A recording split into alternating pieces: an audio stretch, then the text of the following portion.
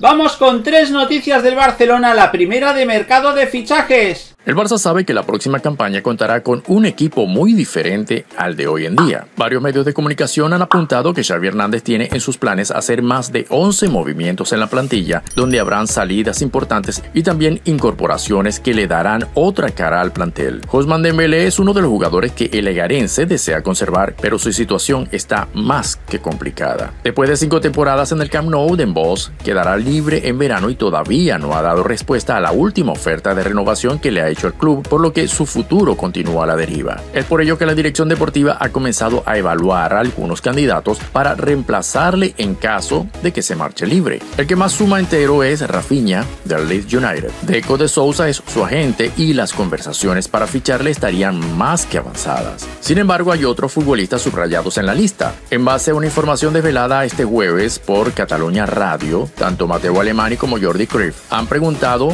al Bayern Múnich por la situación de Serge Gnabry. Con 26 años, el alemán finaliza contrato en 2023 y estaría muy lejos de acercar posturas para ampliar su vínculo contractual. En Alemania no descartan su venta, más aún con las palabras difundidas por el diario L'Equipe que asegura que los germanos le han ofrecido cuatro temporadas y 18 millones de euros anuales a Dembélé para convencerle de aterrizar en el Allianz Arena. Esto no sería más que una toma y daca entre ambas instituciones porque el Barcelona también estaría muy cerca de firmar a Robert Lewandowski, una de las estrellas históricas del conjunto moniquense. El polaco ya ha dejado claro que no continuará y los azulgranas se proyectan como el siguiente destino del 9. De momento parece que el culebrón entre teutones y catalanes continuará arropando a más de un jugador. Después de la victoria del Everton sobre el Crystal Palace, el Leeds se encuentra a un partido de perder la categoría. Si los de Jess Marsh terminan descendiendo, el valor de Rafinha se reduciría hasta los 25 millones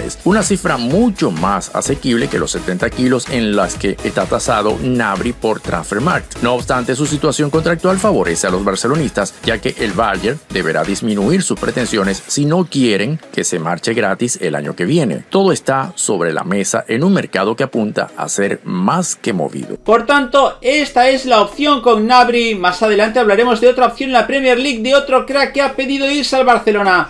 Pero vamos a hablar ahora del futuro de Luke de Jong. El Barcelona planifica la 22-23 y hay jugadores en duda. Luke de Jong tendría que volver al Sánchez Pizjuán, pues su sesión expira en junio. El club catalán, eso sí, tiene la opción de comprárselo al Sevilla. Mundo Deportivo no descarta que así sea, ya que el atacante ha rendido y ha sido importante para Xavi esta temporada. En cualquier caso, el Barça debe cuadrar las cuentas antes de dar por sentado ningún movimiento. La delicada situación económica del club marcará los movimientos de la entidad este verano. Si el Barça no puede afrontar su campaña, el PSB estaría dispuesto a hacerlo, asegura el medio neerlandés en Dovens Dagblad que el equipo en el que militó entre 2014 y 2019 lo quiere de vuelta. No especifica dicha fuente cuánto dinero estaría dispuesto a poner sobre la mesa el PSB, aunque sí subraya que el interés existe. Fue precisamente el Sevilla quien se lo compró al PSB, el conjunto neerlandés, hace tres años por unos 12 5 kilos. Ahora el proceso podría ser a la inversa. El Barça medita qué hacer. Tampoco se ha revelado por cuánto podría quedárselo la entidad azulgrana, pero Mundo Deportivo afirma que la cantidad no sería demasiado elevada. Mientras, Luke de Jong tiene claro qué es lo que quiere. El Sevilla. Prefiero quedarme en el Barça, sería fantástico, comentó hace apenas un mes.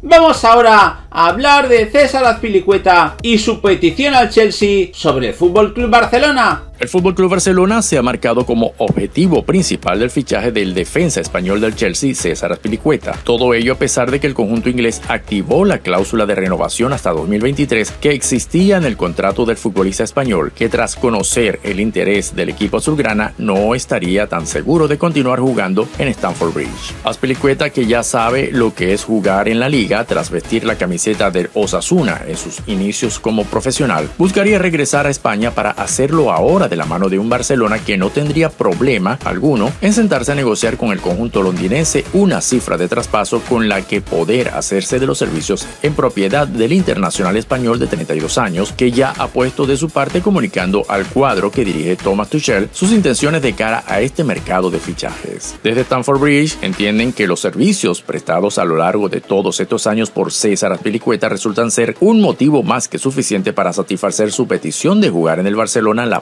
temporada, teniendo por tanto el conjunto azulgrana vía libre para pisar el acelerador de forma definitiva y cerrar así la llegada del que sería uno de los grandes movimientos del conjunto culé en un mercado de fichajes que se avecina bastante agitado en las oficinas del Camp Nou, tanto en el apartado de llegadas como de salidas.